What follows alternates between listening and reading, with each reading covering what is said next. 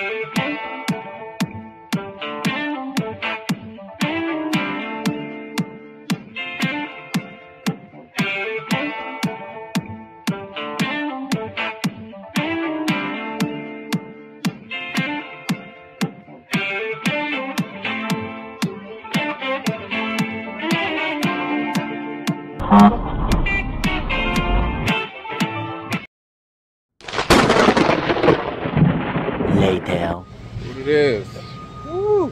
Hot one up here, boy. South Florida. Just checking in with y'all. I'm up here in um, Georgia right now. Yeah, I actually got out to Georgia, y'all. I ain't been out of Florida in probably about five months. I've been running, staying in Florida, man. Like about yeah, about a good five months, four, four and a half months. So it was kind of good to get over back over here in Georgia and see what was going on. But with that, um, uh, yeah, with that, what do you call it? Up here in Georgia, picking up a load, going back to Florida uh, for AutoZone. Real good paying load. I ain't complaining. Y'all know I wouldn't even came out here if it wasn't worth my time. Y'all already know it. So hanging in there, jumping back into it. Man, you know, it's a lot of um, what do you call it? Um, companies out there that are. I'm hearing guys saying that they are um, going to these companies that's telling them they're gonna make, you know, three, four thousand a week, five thousand a week, and they're finding out that it's not what these companies are saying. And it's always been like that, you know what I'm saying? Like it's always been like that. And I'm sorry guys, I'm trying to make sure that um I'm trying to make sure that um I'm um I'm multitasking and, and somebody was just trying to call and I'm trying to watch when they have my, tr my truck loaded. But yeah, you know, they are putting out there that they got these um they paying these excellent, you know, wages. And you got to ask yourself, with the market being the way that it is, is it legit?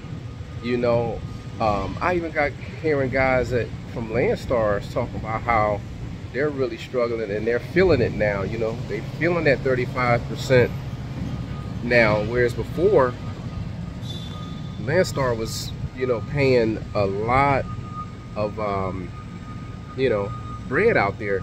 And now guys are feeling it, you know, and you know, that if you got a company that's telling you that they're going to give you an astronomical, which by our standards, five and six grand in this market, company, I definitely would question that, especially if, if it's a company as a company driving. Now that's that's real crazy. But I'm hearing it, you know, owner operators been saying that a lot. Um, people that I know, and they've been having to constantly change companies, change companies, and change companies. You know, it's a dog eat dog out here right now, man. Um, and I'm thankful that, you know, I got in when I did. I started uh, my authority when I did because coming in now would have probably been not a good idea. Um, Pre-pandemic, everything was excellent. Post-pandemic, it, it, just really tanked. Um, and you got to be aware for these companies. Plus these fees, man, they're they're charging these astronomical fees, trailer rentals and you know trailer rentals. I remember when trailer rentals used to be about 100, 125 to you know 150 bucks They're talking about $200 225 you know on top of the insurance or whatnot. Speaking of which my insurance has dramatically dropped. I'm down to about 1100 bucks a month. I'm averaging from 2100 to 1100 bucks. I'm definitely happy about that. Um, and part of the reason is because my mileage has dropped for the month. I've been averaging for the last several months um, 3,000 miles. 2800 to 3000 so when I get my insurance bill they have it on my insurance because they can monitor what I drive because I have the device in the truck.